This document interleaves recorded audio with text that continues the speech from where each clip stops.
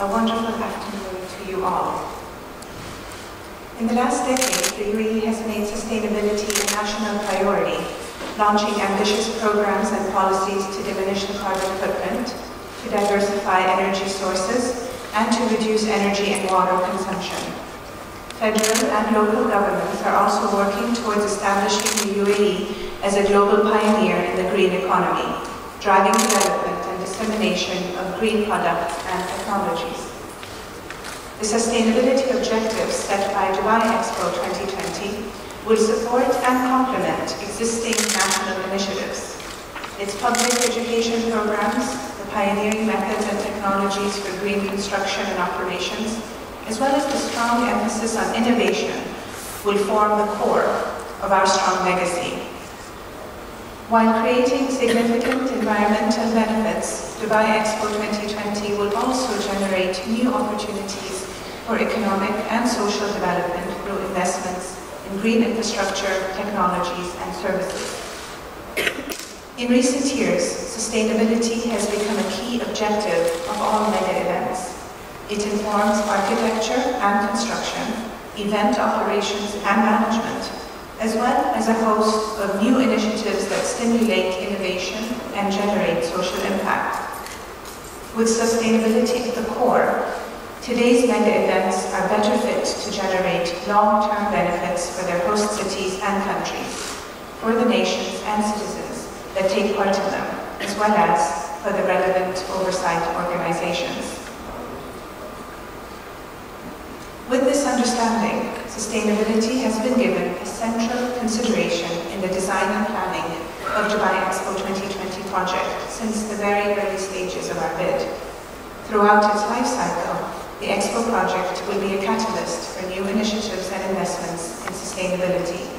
It will help advance the UAE's objectives towards the green economy while also harnessing the reach and breadth of the Expo to promote innovation and awareness beyond our shores. The theme, Connecting Minds Creating the Future, includes the sub-themes of sustainability, mobility, and opportunity. It highlights the interdependencies between these three pillars of global development and calls for partnerships that promote innovation and transfer of know-how to ensure better management and access to energy and water. As we wrap up our plans to prepare for 2020, a whole set of new opportunities of economic, social and cultural development will take place. And naturally, women will play a central role in this journey. After all, we are a nation that has a central maternal figure, Her Highness Sheikh Fatima bint Mubarak, largely responsible for much of the advancement in women's roles as well as measures in environmental accountability and respect. Her steadfast commitment to the advancement and inclusion of women in politics, in education and business has set the path for many to follow. It is not a surprise that women are natural sustainability champions. Historically, we represent the backbone of our families and social structure, not only here in the UAE, but in the region and abroad. We continue to play an important role in preserving and fostering our heritage, our culture, and nurturing the next generation. It was just a few years ago when the UNDP status report on the Millennium Development Goals recognized the positive outcome of the UAE's target-oriented policies in a number of areas, including women's empowerment. Likewise, the WEF report of 2014 also disclosed that the UAE continues to perform well in the education and health sector with near perfect equality across gender, both of which are vital to our gender equality efforts. Today, the women of the UAE, many of whom are here today, serve as outstanding role models. I am inspired and I am humbled by their contributions on the notification that the UAE was ranked number one in the world for treating women with respect in 2014 by the Global Social Progress Index. His Highness Sheikh Mohammed Rashid Al Maktoum, Vice President and Prime Minister of the UAE and ruler of Dubai, offered that, quote, UAE respect women for their sacrifices and their dedication as partners in the building of our nation In many sectors, women have been able to contribute more than men because the UAE society gives women a supportive environment to achieve their full potential.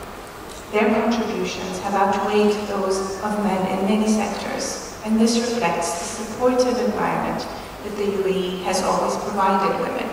Unquote. Accordingly, it is my privilege to be here today at the launch of the first annual Women's International Leadership Lounge, discussing women and sustainability in the presence of those who share a commitment to the prosperity of our world and the protection of our environment for the next generation.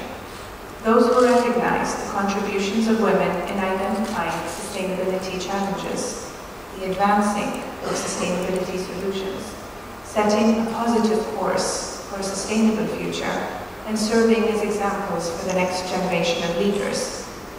As you engage today and share and discuss how, as women, public and private sector leaders, role models, future leaders and educators, we can boost the contributions of women in the workplace and in particular, sustainability.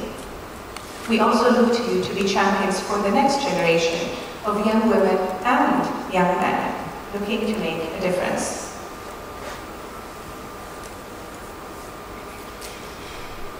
Before I conclude my remarks, I want to share some thoughts on how we can engage our youth in our sustainability and gender equality journey.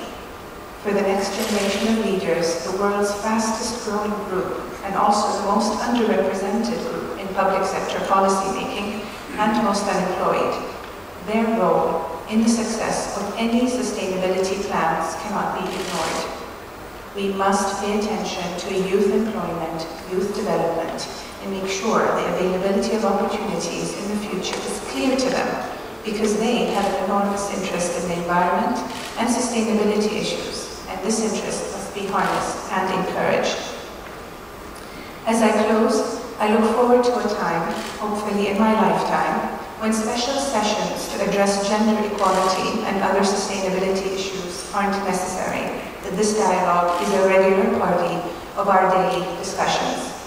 Until then, I urge you to explore every possibility and more importantly, work to identify achievable and viable solutions that protect and maintain our people, our community, economy and environment as we evolve, transform and pursue prosperity. Thank you so much for your time